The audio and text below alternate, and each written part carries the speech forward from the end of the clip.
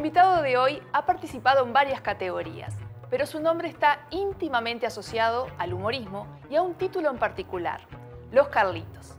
Además de ser su director responsable, es el personaje más icónico de este conjunto que supo plasmar su manera de entender el humor. Interpretó personajes inolvidables, entre ellos El vampiro, en el año 1987, año en el que el conjunto ganó su primer galardón. Es un placer y un honor para todo carnaval fuera de concurso recibir al señor Cachito de León. Recorrer la trayectoria de Carlos Cachito de León implica repasar mil y una imágenes en las que su sonrisa y su voluntad de hacer reír son una constante sobre los escenarios. Su camino en carnaval comienza a fines de los años 60 como integrante del trío Escalera, un grupo que se caracterizaba por organizar sus bloques de humor en forma integrada, de una manera muy similar a lo que sucede con una humorada.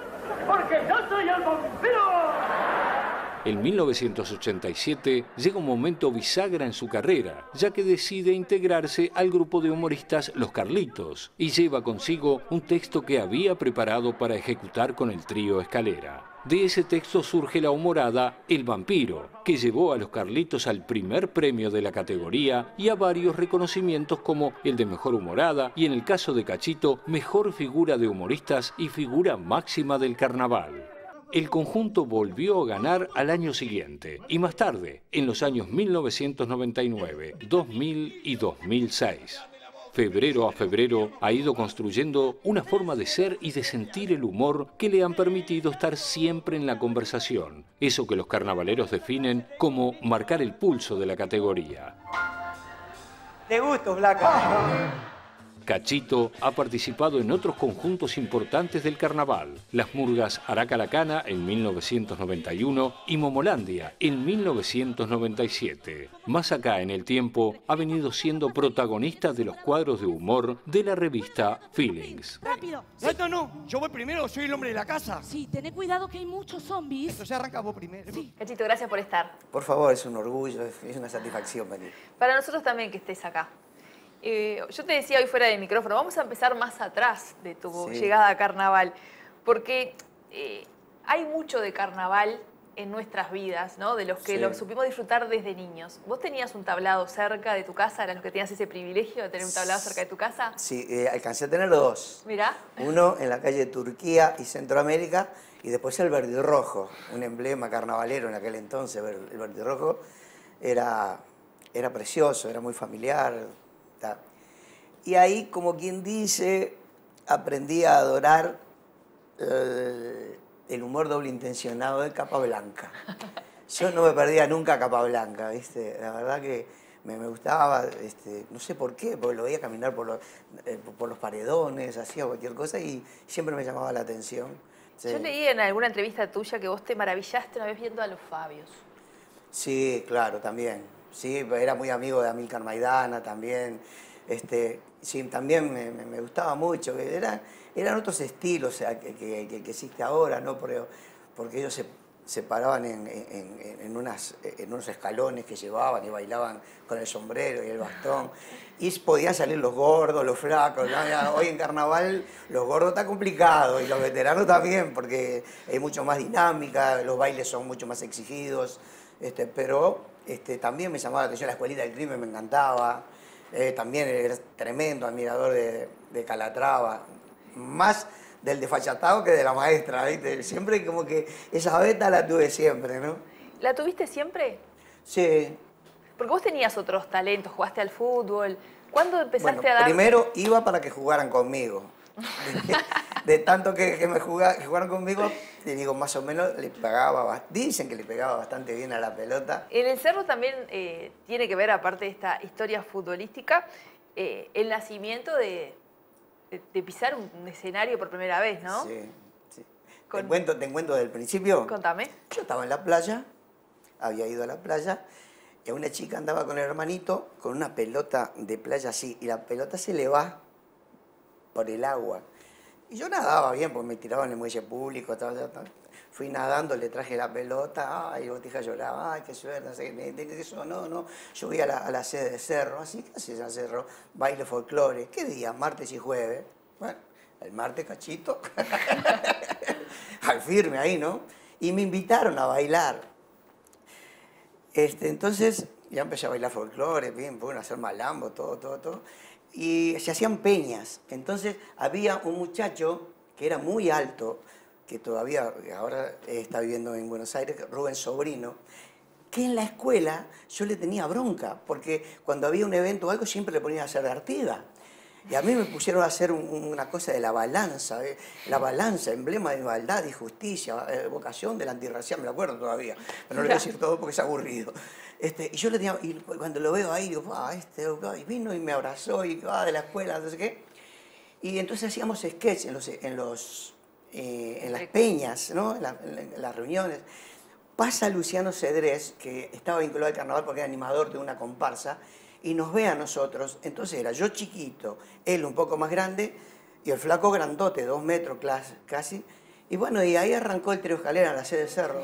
Pará, pará, pará, pará. Muñeco, Sí, soy yo. ¿vos decís que vendieron el barco con nosotros adentro? Vendieron el barco con usted adentro. Ay, pará que le vea la noticia al enano, pará. Dásela. Cachito, despertate, mi amor.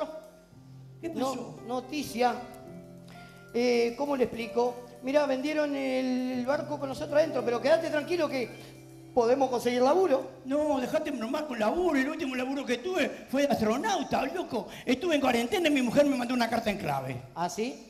¿Y qué decía? P, P, P, P, P, P. 6P. Sí. ¿Y eso qué quiere decir? Paso por pobreza, próximo paso prostitución. Pero yo le contesté en clave también. ¿Así que le pusiste? C, C, C, C, C, C. Pará, esos son 6C. C, C, C. ¿Qué significa? Cobrar caro, cariño, Carlito, cuidado el Eh. cuerpito. Y tengo una anécdota, tú sabes que estábamos ensayando en la esquina de- de- de- del cerro, ahí en Grecia y, y Austria, que había un café, y Capablanca pasaba con la camioneta y se iba para actuar en el parador del cerro. Y pegó la vuelta, paró y se sentó en, en el cordón de la vereda a escucharnos. Ay, qué susto que teníamos, ¿viste? Buah, igual actuamos, ahí hicimos nuestra edad. Y tú sabes que entró y me dijo, mira, te voy a dar unos consejos, dice, ya veo que son nuevos. Y me aconsejó varias cosas que las utilicé y, y realmente este, funcionaban, ¿no? Por ejemplo, él decía que los cómicos, cuando hacemos cara, cuando hacemos- tenemos que trabajar para tres lugares. Primero para la derecha o para la izquierda. Después para el otro lado y después que ya teníamos esos dos públicos concentrados, trabajar para el medio y ahí sabíamos que todos nos estaban prestando atención. ¿y por qué pensás que él tuvo la, la generosidad de sentarse y darles ese consejo? Creo que jamás se imaginó que el trío Escalera iba a ser este, el boom que fue en ese momento, porque realmente eh, no, que no quede jactancioso. Todos los concursos que se hicieron ese año, fuera de en los tablados lo Era una época de- de- de- hasta en la mutual. de concursos en los tablados. Ahí va, que la gente votaba y los ganamos todos nosotros con el trío Escalera. Él no se imaginó que nosotros eh, íbamos a hacer, eh, digo, de todas formas, digo, la rivalidad que existía entre, entre los dos que hacían más tablados, sin lugar a duda, los Capablancas nos llevaban harta este, diferencia en cuanto a cantidad de tablados, pero nosotros no fue bárbaro, realmente no fue bárbaro. Y ahí ya empezamos una, una historia de amistad, pero también de competencia. Y se puede vivir así, ¿no? Sí, se puede. sí. Carnaval sí, Se puede vivir, compitiendo ¿cómo no? y- Es que carnaval es una eterna competencia en todas las categorías. A veces hay mucho fallutismo, ¿no? Pero este, casi siempre este, se llega a buen puerto. Ustedes, aparte de, de esa competencia que se daba porque hacían muchísimos tablados, porque tenían ese cariño de la gente, hacían un tipo dis- distinto de humor. Si nosotros hacíamos una historia, siempre, siempre con el trío Escalera hacíamos una historia, que, una historia que tenía principio, un desarrollo y un final, no eran chistes sueltos. Ajá. Este, creo que eso era lo que funcionaba. Este, creo que, que Capablanca también hacía toda una historia. Este, Pero, pero hacían un- una especie, el humor más, eh, más picaresco. Más picaresco, no. Nosotros jamás llegamos a, a tener el humor tan picaresco. Nosotros siempre trabajamos con la doble intención. Y creo que eso este, hasta en los Carlitos se vio reflejado porque a veces dice que los Carlitos estamos subidos de tono. Yo nunca en el Teatro de Verano dije una mala palabra. Jamás en mi vida. Y yo veo que se escuchan cada cosa. sin embargo, nosotros como que nos rotularon los Carlitos este, son mala palabra. ¿Y por qué pensás que sucedió eso? Y no sé, debe ser la competencia, yo qué sé, nosotros, este, sin lugar a dudas, digo, tenés otras, otras preguntas, porque si nos pasamos para los carritos después, vas a volver al principio. Voy Sí. a volver al principio, sí, pero ¿por qué pensás que, que pasa eso de, de que los hayan rotulado este, cuando tienen una génesis en, en el trío Escalera? Hay un, Sí, sí, hay sí, un, sí. Este, unir hacia ese tipo de humor con doble intención que también supo llevar Bueno, los Carlitos. yo- ¿Por qué los rotularon como de humor verde? A mí Que vos te enojado mucho Sí, eso. sí. A mí particularmente este, creo que es algo muy importante. Mientras el público era netamente carnavalero y iba al teatro de verano a divertirse, funcionaba. La incursión de gente de teatro, creo, que trajo arraigado no solamente el cambio de público, sino que también los costos del carnaval. ¿Por qué? Porque empezaron a aparecer los, eh, los puestistas de escena, los iluminadores, los coreógrafos, que antes la coreografía la hacíamos nosotros y la puesta en escena la hacíamos nosotros. Y todo eso fue, eh, fue creando principalmente en la gente que está abajo, los abonados, este, eh, al ver que, que- había gente importante o, o que, idónea en todo lo que se hacía, que ellos aprendieron también. Entonces se pusieron más exigentes. Este, vos ya no podías hacer un chiste suelto porque tenía que venir preparado para que el remate no fuera grosero, toda esa historia. Y creo que en ese momento, y no es por achacarle a los boobies, eh, porque cada uno tiene su estilo y, todo, pero creo que ese fue el momento en el cual cambiaron. Inclusive las murgas tampoco antes hacían coreografía. Después de ese momento, no digo que queda, queda como que le estoy echando la culpa a los boobies, pero no es así. Ellos hicieron lo que sabían hacer y le vino bien al carnaval, pero también le hizo pegar un vuelco en cuanto a la opinión generalizada del carnaval, de los conjuntos principalmente. Y por ahí hay gente que no le gusta la doble intención, que, que- que hay otros que le gusta, que le gustan los chistes más preparados, a otros le gusta eh, un chiste que te surge en el momento por una situación. Este, y yo creo que los Carlitos siempre utilizamos todo tipo de, de- de humor. Humor doble intencionado, humor de situación, este, humor también limpio, lindo, precioso, como le gusta a los abonados. quiero nada, no quiero nada, no quiero nada, Te papá. traje esta juguetería para que elijas uno de los Carlitoys. No, ¿qué Carlito y nada? Yo quiero el Ben 10. Déjate de Ben 10 ni Ben 10. Yo- Estos son los verdaderos Carlitoys, los que vienen en la cajita feliz. Déjate de bromar esto, ¿sabés? El otro día compré hoy la cajita feliz de esto. ¿Y sabés lo que traía? No. El Miti Miti. ¿Sabés lo que me saqué? La mitad de una mochila. ¡Qué bueno! Qué bueno, se me caen todos los cuadernos. En el próximo bloque, A veces en el teatro pasan cosas raras. Oh, chi, pum, ra, oh, ya, ya, pa,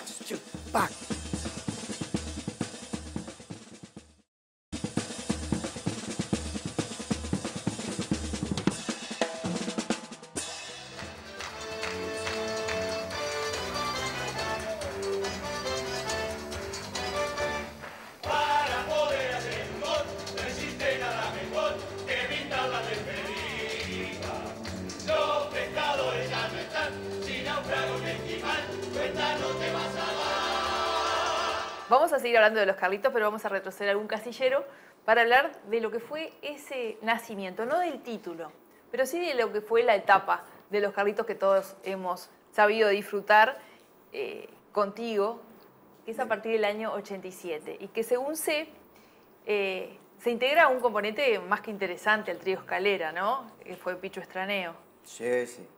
Pillo Estraneo había un concurso en el Teatro de Barrio La Espada. Me llevan a mí, y, perdón, a, Rubén Sobrino, que era ese grandote, y a mí de jurado. Entonces vimos a todos los gurises y Picho no podía perder. Hacía imitaciones, cantaba, tocaba la guitarra. Y, y lo dimos ganador. Vino el padre a hablarme y dice, bueno, ¿está pronto para salir en el trío escalera? Digo, no, digo, le falta un poquito todavía, está muy chico. Digo, dentro de dos años lo vengo a buscar. Digo, no se lo des a nadie. No, no. Cuando cumplía 18. A los dos años lo fui a buscar. Y bueno, salió con el trío escalera primero y, y andábamos bien. Entonces, en el 87, yo iba a salir con el trío escalera. Iba a ser el vampiro con el trío escalera. faltando, y le di a mi hermano Ever que este, se ocupara de los Carlitos. Resulta que mi hermano es aguantar pocas pulgas, me echó a tres, faltando una semana. Entonces hablé con, con, con el flaco, que ahora no me acuerdo cómo se llama, y con el Pichu, ahora después me voy a acordar, Roberto eh, Pacheco. Robert Pacheco. Robert Pacheco, que cantaba conmigo en la orquesta, porque yo también tocaba la orquesta. este, cantaba, tengo disco, todo. Este, hice de todo un poco. Entonces le digo, mira, este, vamos a hacer una cosa, vamos a incluir dentro de los Carlitos esto. Porque yo hacía un canal de televisión, que también lo había escrito yo. Digo, vamos a hacer esto, ¿te parece? Sí, sí, digo, porque no hay otra salida, si no, digo, vamos a hacer, estamos una semana. Hicimos el vampiro. Ahí, justo en ese momento, y bueno. eh, pero además era un conjunto que estaba plagado de figuras trascendentes. Picho Estraneo, eh, Fata Delgado, Gerardo Nieto, eh, Miguel Cufó y yo, que no sabía ni lo que estaba haciendo. ¿Qué pasaste, metido, eh? ¡Yo soy el vampiro! Por favor, dije sin corte. Y a última te presentaban sus hijos. Leyendo una novela de terror. Cuando de pronto la noche se puso gris. Soplaba mucho el viento. ¿Qué está haciendo? ¡Me llevaba el viento! ¿Sabés que hasta hoy se sigue hablando? Sí, lo sabés. Se sigue hablando del, del vampiro. Sí. Eh, leí alguna anécdota que relatabas cuando te fuiste a sacar sangre. Ah, sí, en el sanatorio. Me fui a sacar sangre, a donar sangre, y me puse ahí, vino una enfermera, me pinchó, digo, dice, ¿podés esperar un poquitito? Digo, sí, sí, cómo no. Demoraba y demoraba. De repente vienen como ocho mujeres todas vestidas blanco y dicen, mira a quién le estoy sacando sangre, al vampiro. Este, bueno, mira, te voy a contar lo, lo- lo que fue ese año porque fue fabuloso. Al final, todas las letras, yo habíamos hecho también con caja de cartón todas las letras, los Carlitos en grande, ¿viste? Entonces yo no bailaba la despedida, pero yo veía que nos estaba yendo bien, que la gente se reía y todo, digo, digo, capaz que si yo no salgo a la despedida nos sacan puntos. Te digo, pongan todas las, todas las, las letras este, entreveradas. Sí, sí, pongan todas las letras entreveradas. Pusieron todas las letras entreveradas, empezó la despedida, los Carlitos, pa, pa, pa. Entonces yo miraba así, no bailaba nada, así como todavía hago eso, ¿no? Este, eh, voy y empiezo a acomodar las letras, ¿viste? Entonces yo la ponía una así, venía a hacer palma, pa, se caía. Iba, la ponía de vuelta, arreglaba otra, pa, pa, pa, se caía. Ta, eh, y otra, otra, otra, otra, otra, otra, se caían, iba, corría, la ponía, y al final quedaron todas así. Yo no sabía por qué era. La gente se pensaba que eso estaba todo arreglado. ¿Qué era? Los utileros, después cuando empezamos la despedida, empezaban a sacar la ropa para afuera. Y cada vez que abrían la puerta de atrás, entraba viento y la tiraba. Claro. Hasta que no sacaron más nada, quedó la puerta cerrada y quedaron las letras todas prontas ahí. Y quedó como que era una cosa tan bien hecha que, viste, cuando te salen las cosas bien.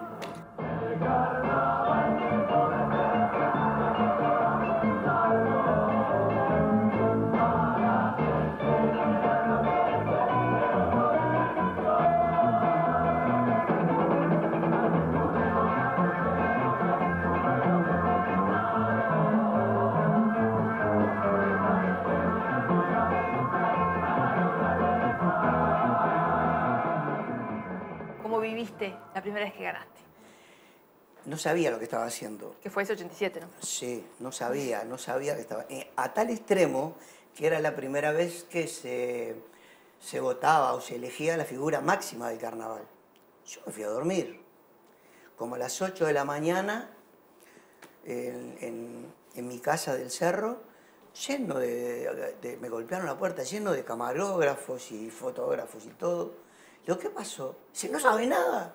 Digo, no. Yo, cuando nos dieron el primer premio, festejamos, todo, después nos fuimos a dormir. Dice, soy la figura máxima del carnaval. De hecho, tengo una foto que me sacaron, que pusieron en el coso, que parezco que estoy medio dormido, no sé qué. Yo no sabía de qué se trataba. Es que no sabíamos de qué se trataba realmente.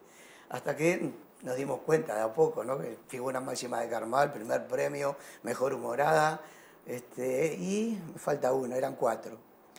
Eh, mejor humorada y mejor espectáculo, no, para mejor humorada, primer premio, figura máxima de Carnaval y figura, Figura máxima del humorista. humorista. Claro. Eh, Carlitos ganó en el 87, 88, dos años seguidos, 99, 2000, también dos años seguidos, y 2006. ¿Qué te acordás de esos años? Y también fueron, ¿Fueron años- distintos? Porque todo se gana, pero Sí, claro, este, fueron distintos porque ya ahí ya, ya no, no era la, la impronta, ¿viste? Tenías que ir, ah, bueno, ahí viene la, in- la inclusión de Bubis, y ya Bubis le dan una vuelta muy importante al humor, al humorismo, más preparados, con bailes, con, con situaciones muy preparadas, y ya como que había que mirarlo de otra, de otra vez. De hecho, cuando entraron, ganaron unos cuantos años, me parece. Hasta que nosotros, yo agarré y le dije a Luis Trochón, lo llamé y le dije, mira Luis, nosotros creo que somos los que hacemos reír más. Nos falta que luzca. Vos tenés que lograr que luzca esto. Era cuando, era cuando hicimos eh, la torre de Antel, que éramos todos obreros.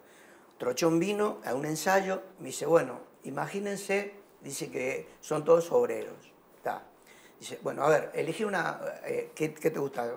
¿Qué te parece que ves? Ah, un hombre con una cartilla. Bueno, anda, vos sos el hombre con la cartilla. Y vos, no, yo estoy picando la pared. Vos picas la pared. Ustedes llevando un tablón. Ta, ta. Dice, bueno, hagan, suban al escenario, teníamos un escenario en, los- molineros, suban al escenario y háganlo. Ta, lo empezamos a hacer. Dice, bueno, ahora pónganle, eso no se me olvida más, pónganle sonido. ¿Cómo? Sí, por ejemplo, oh, ch, pum, ra, oh, y otra, pax, chu, pax. Entonces me hizo bajar a mí y se mira Cacho. Era una, era un- una hora, ¿viste? Una hora en construcción. Eso es lo que queremos. Y bueno, eso fue lo que, que lo que nos llevó a, a emprolijear todo lo que nosotros por ahí sabíamos hacer, sabíamos que sabíamos reír, pero también mejoramos los bailes, tuvimos que tener una coreografía, mejoramos los bailes, el canto también. ¿Viajar o no viajar? Esa es la cuestión. ¿Qué trajo Pinochet? ¡No! Soy Hamlet y he perdido la cabeza por una mujer. ¿Por qué mujer? ¿Por qué mujer qué cosa? ¡Ay, está re loco! No está re enamorado. Hay que reayudarlo. ¿De qué re manera? Con una recarta. Ah, una epístola. La recarta para vos, la pistola para mí.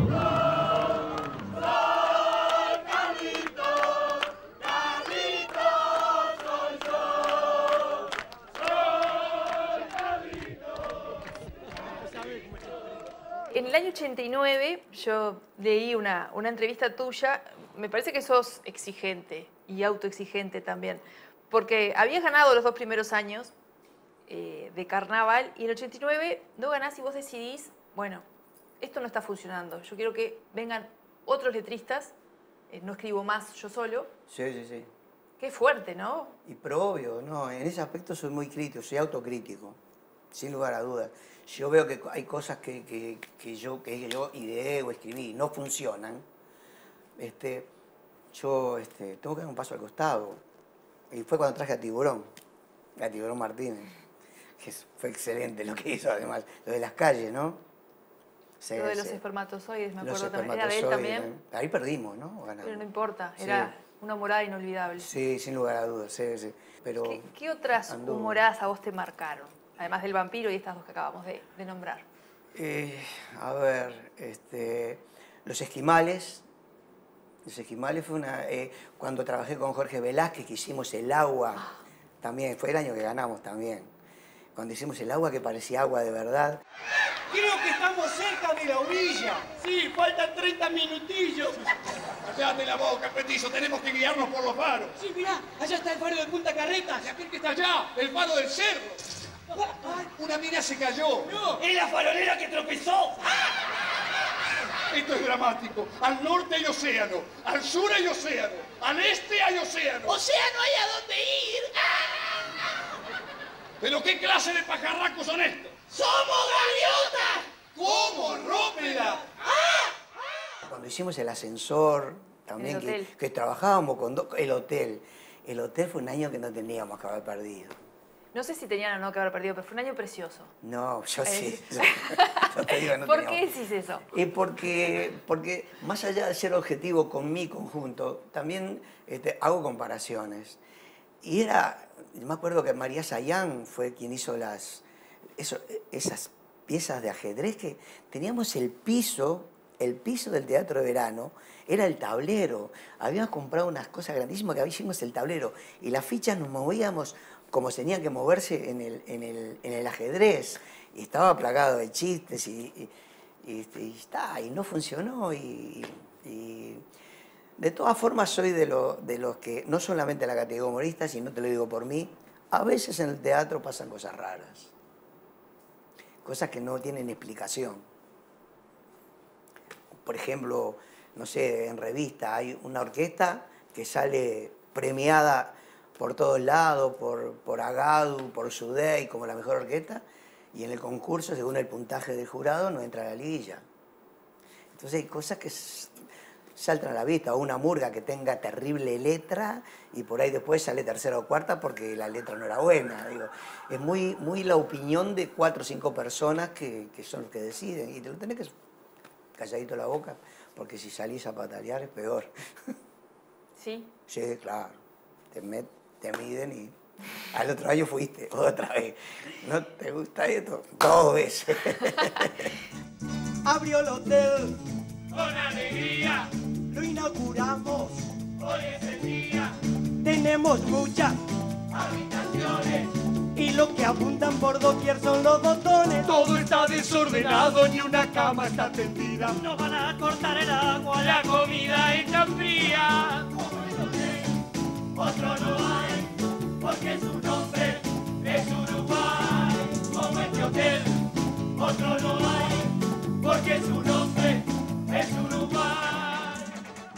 Hacemos un paréntesis breve Dale. de los Carlitos para hablar de murga. Di- Mira que saliste en buenas murgas. no Araca, la cana y Momola. Títulos enormes. Sí, sí, sí. Por lo menos para los barrios de La Teja, ¿no? Sí, sí. Estamos hablando de dos grandes. Eh. ¿Cómo fue la experiencia para vos? La de Araca espectacular.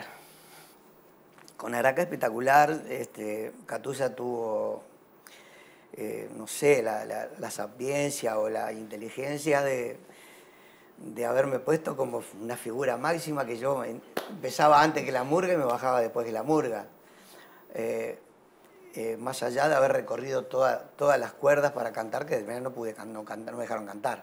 Qué mal que estoy. Araca, eso debe ser importante, ¿no? Cantar, No, claro. Que el señor cataste. Este, pero, pero le puse, me- eh, además Catusa me dejó meter, eh, meter mecha, ¿viste? Que me decían que era tan exigente. Yo, eh, cuando llegué para tomar la decisión de, de ir a Araca, digo, este, yo lo que tenía miedo a la exigencia, de no poder ser yo. Sin embargo, me dejó entrar a mí solo primero, este, y, y después entraba la murga, ¿viste? Y cuando yo entraba solo, el teatro de verano, la primera vez no tanto, la segunda me plagiaba así como, ¿viste? Una cosa que pegaba en el pecho, así. Cuando entraba la murga era un disparate. Este, yo pensé que ganábamos, honestamente, estamos despegados. Este, pero hay una cosa que me marcó para toda mi vida y es, este, cuando ya en la despedida, yo este, le decía al genio, genio, ¿qué le pasó a la murga? Y sentí una voz finita que dijo, ¡que la robaron, cacho! Y quería hablar y no podía.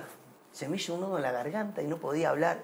Y con los Carlitos nunca me pasó eso. Será porque tenía otro tipo de responsabilidad que no, que, que para eso no tenía los sentimientos arriba del escenario. Pero acá fue una cosa, pero fue un año que la gente era impresionante. Digo, estaba el voto popular y yo creo que a la semana lo sacaron el voto popular porque robábamos, ¿no? Robábamos. Este, me pasó eso y yo digo, ¿por qué me pasa con, con Araque y con los Carlitos? No, no siento esto que estoy sintiendo ahora, ¿viste? Este, ¿Y encontraste una respuesta a esa pregunta? eh, no, que me emocioné, no sé por qué, porque este, yo este, soy muy, muy, muy frío y en estos momentos hasta a problema de concentración tengo, ¿viste? Porque estoy, a mí lo que me pasa en los Carlitos que yo estoy mirando que, no le erren, que no me den el pie bien, que me den el pie mal, que aquello, que- que aquello, y no, no, no en Araca yo era yo.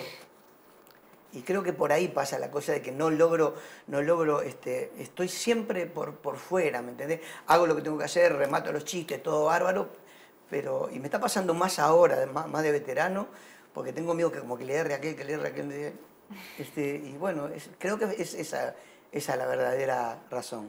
Mira, Cacho, el carnaval de antes es el fiel reflejo de esa felicidad. Qué lástima que la gente ya sabe que vos no sos el genio, Rubén. Porque si no, mira, te juro que te pedí otro deseo. ¿Cómo? Que le pedí otro Sí, deseo. sí, que le pedías otro deseo. y pedíselo, y pedíselo con fuerza. Y de repente por ahí. Sabes que tenés razón, pero no al genio. A mí me gustaría pedirle al señor presidente una ley que proteja a todos los artistas nacionales. En el próximo bloque, Odio, odio las drogas en el conjunto. Y toda la gente te aplaude, tal. entonces llegas a tu casa, prendés la tele y empezás a ver los que comentan los tipos y te vas metiendo así. ¿no? Ah.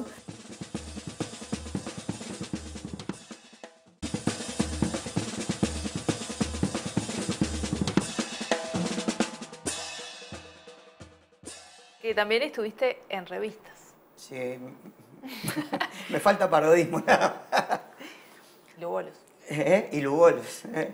Pero, este, bueno, tenía una eh, implicancia, ¿no? Estaba tu señora. Sí, claro, ahí como que me liberé. ¿En serio te liberás?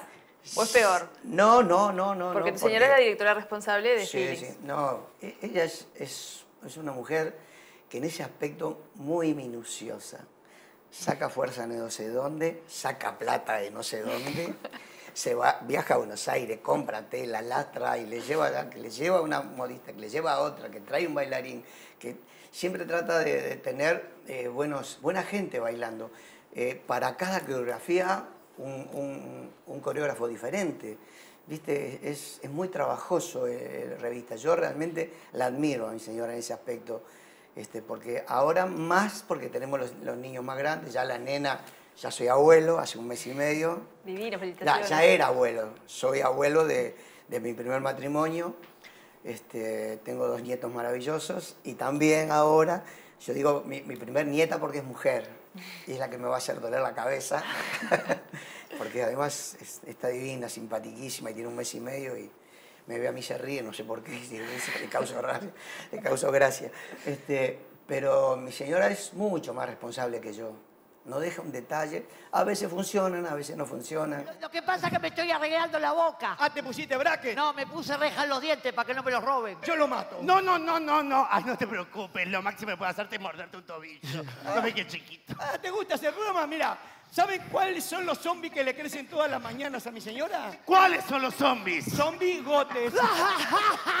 ¡Son bigotes! ¡Buenísimo! ¡No me toques!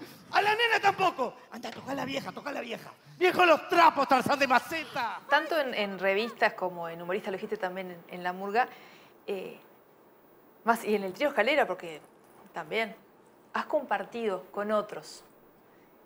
¿Con quién te sentiste que, que jugabas ese juego que sabes tocar los que juegan al fútbol, que saben tocar los que, los que hacen humor? ¿Con Sí, quién te sentiste acompañado en el remate del gol? Sí, este, hay mucha gente que, que me supo preparar. Este, en, en el trío Escalera era eh, Luciano Cedrés, que, que Dios lo tenga en la gloria, hace poco murió. Eh, Luciano Cedrés, y después con, con Sobrino, y yo medio que nos, comportam- no- no- no- nos complementábamos, yo le levantaba a él el centro, él a mí, era así. Después en Los Carlitos, este, en, El Vampiro fue, fue el Fata el que me levantaba del centro, el Fabián, Fa- Fata Delgado, que y, y Hugo Bustos, que hacía de director general. Este, ¿Pero con quién te sentiste más cómodo? Porque ahora nombraste a Velázquez. Sí, bueno, ¿no? hoy, hoy, si tengo que nombrarte a alguien, hoy que, pero que no estuvo conmigo en esas épocas, es con Charlie, Charlie Álvarez. claro. Con Charlie Álvarez, ahora nosotros eh, tenemos un humor que se llama, eh, un conjunto que se llama humor de gala, que somos los dos, que hacemos fiesta, velorio, lo que sea, este, este, y, y nos llevamos muy bien, y nos llevamos muy bien, nos conocemos. Este, de hecho, en la revista también, este, si yo me quedo, él me saca adelante. Favor. Ustedes con tanta bobada y yo con muy malas noticias. ¿Cuál? Muy malas noticias. Un grupo religioso quiere comprar el cabaret. ¡Ay, Dios mío! No, Dios es amor. ¡Ay, la de Kesman! No, la de Kesman es la universal. Yo no puedo creer, esto de los grupos religiosos quieren comprar todo, cine, teatro, cabaret, lo único que quieran, ahora falta que quieran comprar es el teatro verano. Basta, loco, no dé malas ideas. ¿Vos te imaginás al pastor Recoba presentando los santos cabreros? No.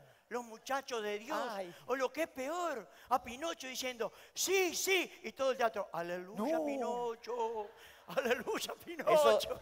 eso Dejate sí. de embromar. Vos, eh, después de tantos años, ¿ya te das cuenta? ¿Cuándo, Eh, tam- cuándo podemos ganar y cuándo no? Sí, durante el concurso hablo, ¿eh? Porque a veces Sí. después, ¿sí te das cuenta? Sí. Pero viste que es difícil, ¿no? A veces No. después es mucho más fácil, uno pasa el tiempo, ve. Sí, pero yo creo que lo principal es ser autocrítico.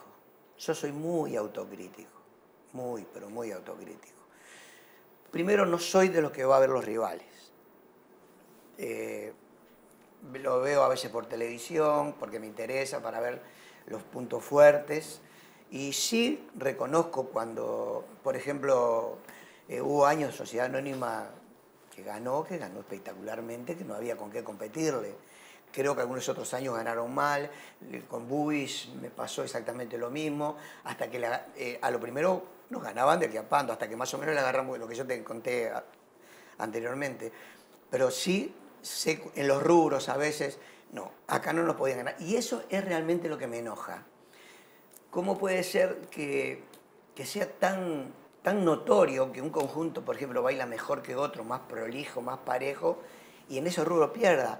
Lo lindo sería que si vos este, sabes que, por ejemplo, estás mal de ropa y estás mal de libreto, el que te gane, te gane porque estás mal de ropa y mal de libreto. Eso sería lo ideal. Entonces ahí nadie, no se armaría lío, nadie diría nada, no, no, no, la gente no tendría que ver directores enojados hablando por la tele. Este, sería mucho más lindo si el jurado tuviera la sapiencia de...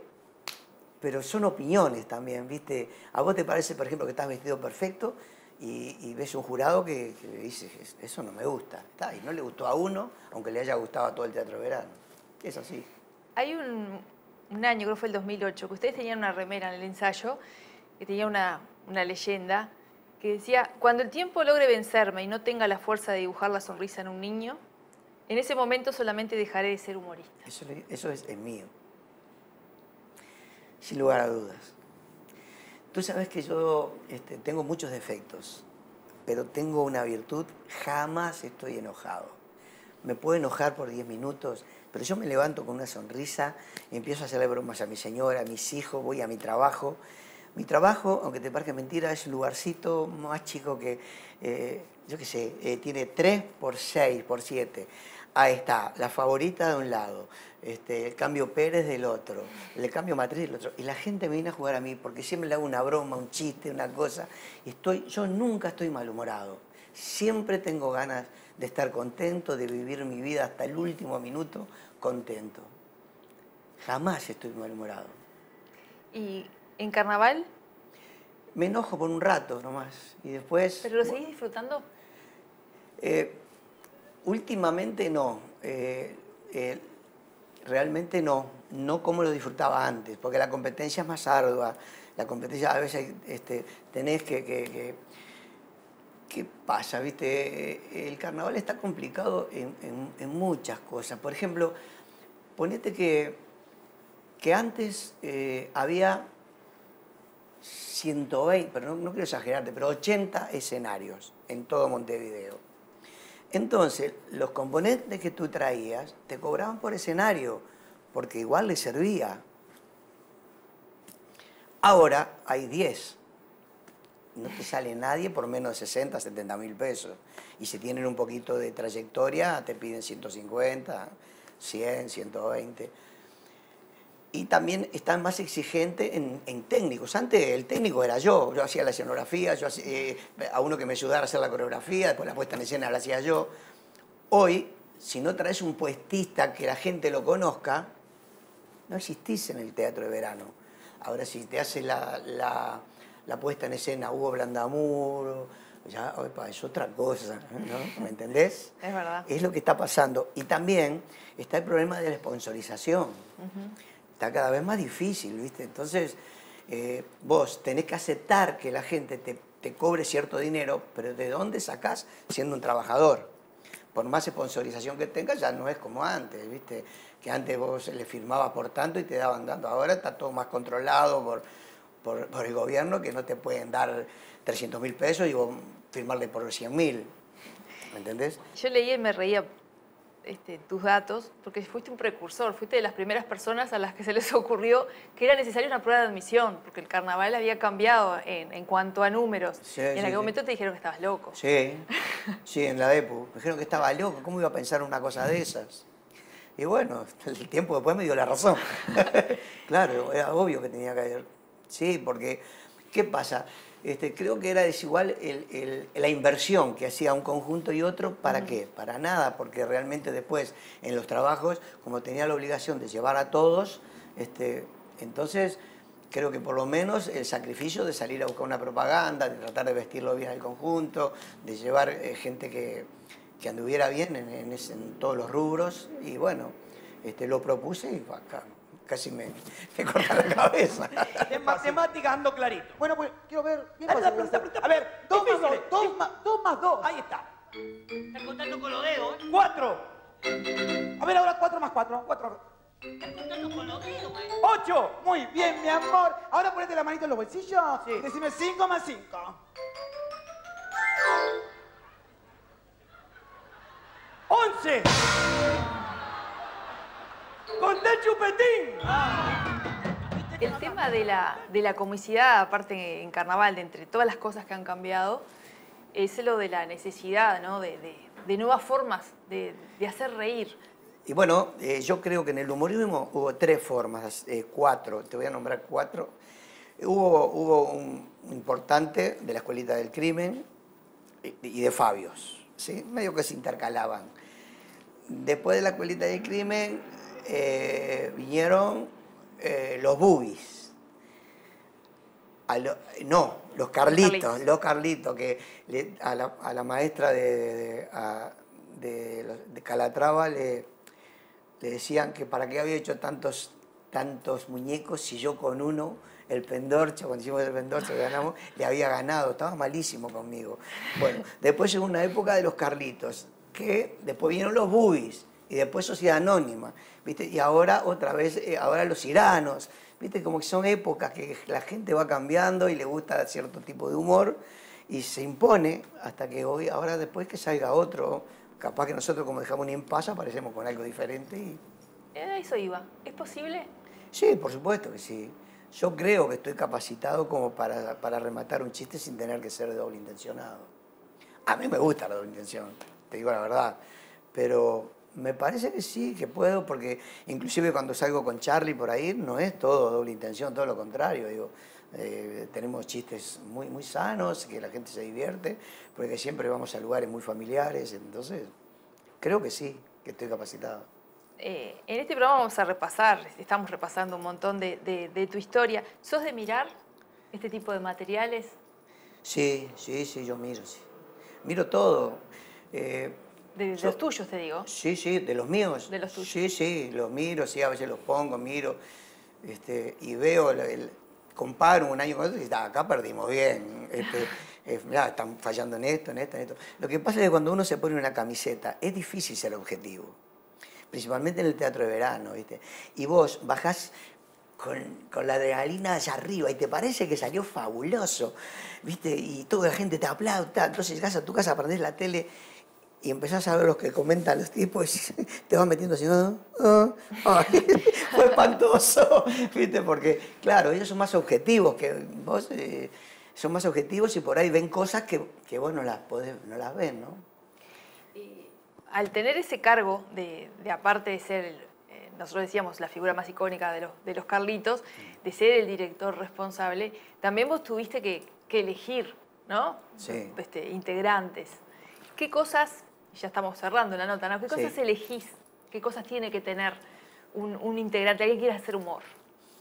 Este, tú sabes que cuando recién empecé, como que, que también tuve suerte, digo, cuando empezamos en el 87, debe ser ese momento, porque estaba eh, el Picho Estraneo, que yo ya lo había visto. Eh, Fabián Delgado, primero vinieron los dos hermanos, después dijeron, mira, trae- tengo un hermano que en las fiestas hace chiste, tráelo. Bueno, quedó Fata y echaban los hermanos. Estaban malísimos conmigo, pero yo cantaba nada más, y a uno le decían el tronco, no bailaba nada, no hacía nada. Este, este, y, ta, y, ahí después, si tenían experiencia, eh, vino Willy, que, había estado en una murga, después yo, y ahí conformamos. Después, este, yo casi siempre he hecho muy, muy pocas veces casting. Porque en el tiempo que los Carlitos éramos los Carlitos, entonces me sobraba gente, la gente venía a probarse, te sobra. Que te cuando las cosas van bien, después cuando empieza el bajón, tenés Pero cuando que las andar cosas buscando. eh, van bien, ¿qué, qué buscabas? ¿Experiencia? Mira, por sobre todas las cosas, buenas personas, que no me complicaran la vida. Realmente, eh, que no me complique la vida, que tenían que venir a divertir. Digo, mira, para venir a hacer humor, ustedes tienen que ser divertidos, no tener problemas. Si tienen problemas, lo dejan antes de entrar al, al- al- ensayo. Y después, que no tomen, que no se droguen. Sin lugar a duda, algunas me habrán pasado por arriba, obvio. Pero delante mío no. Del- La- delante mío, eh, odio, odio las drogas en el conjunto. Collazo es la mejor mascota que un capitán puede tener. Mire, si levanta la pata derecha, le canta un paso doble. Y todos gritan con fervor. ¡Viva tu hermana! Si levanta la pata izquierda, canta un blues. Ponte el you. La, la, la, la, la, la, la. Que no quiero ser. Pa, pa, pa, pa, pa, pa, pa. Si levanta la pata derecha, canta un paso doble. Si levanta la izquierda, canta un blues. Y si levanta las dos, me caigo, pelotudo. Las dos últimas. La primera, ¿cómo, cómo se llama tu nietita? Julieta. ¿Qué te gustaría que le dijeran a, a Julieta dentro de muchos años cuando le hablen de vos? Me gustaría estar yo para contarle. Pero, viste, siempre mejor que hable, que hable bien que hable otro. Este, y no, yo creo que eh, esa es una cosa que, que no se puede... De vos en carnaval, te digo, ¿no? Sí, este, ella va a tener oportunidad de ver, de ver todas las grabaciones y le van a decir, mira, este es tu abuelo, este es un desfachatado que hacía esto, que a la gente le gustaba, a otras no. Este, y bueno, este, pero yo creo que me va a salir bailarina como la madre, ¿sabes? Pero creo que, que le diga que, que- no sé, ojalá esté yo eh, para poder contarle de qué se trata y de llevarla primer show al carnaval. A ver, este, y si no estoy, que le digan que, que era una buena persona, que siempre estaba de buen humor y está. Los logros que, que lo cuenten otros. La última. Nosotros, más que una pregunta, es una petición. Nos gustaría que, que cerraras vos esta entrevista. Dijiste que eras cantante, así que estoy a punto de pedirte un tema, pero un chiste. Ay, ahora sí que me mataste. A ver, tengo que Alguno pensar. que te acuerdes, puede ser viejo. Uno que te acuerdes que, bueno, que causó mucha sensación o algo parecido. Eh, yo era chiquitito. A ver. Tenía cuatro años. Bueno, chiquito fui siempre. Claro, de- y además era feo cuando nací, ¿eh? Mira. Sí. El médico, eh, mi mamá le preguntó, dice, a ver, señor, ¿qué? ¿Eh, ¿Varón o nena? No sé, señora, vamos a tirarlo para arriba. Si vuela es un vampiro, le dije. y salí vampiro. No, pero este, el chiste es este, subí al- Tenía cuatro años, ¿viste? Y me dice mi papá, mira, vamos a subir al ómnibus. Si el, eh, si el guarda te pregunta, vos tenés tres años. Tres años, ¿estamos? Sí, sí, papá, sí, papá. Subimos al ómnibus y el nene no paga. No, señor, no paga, le dijo mi padre. Dice, ¿qué edad tenés? Tres años tengo, señor. Ah, ¿y cuándo cumplí los cuatro? Cuando baje del ómnibus. Me encantó. Muchísimas gracias. ¿eh? no, por favor. Por el chiste Tuve- y por estar con nosotros. No, al gracias. contrario, fue un placer. Me sentí muy cómodo y tenés una sonrisa maravillosa. Vos también. Muchas gracias por compartirla. Gracias. Marchamos ya pensando en volver. Los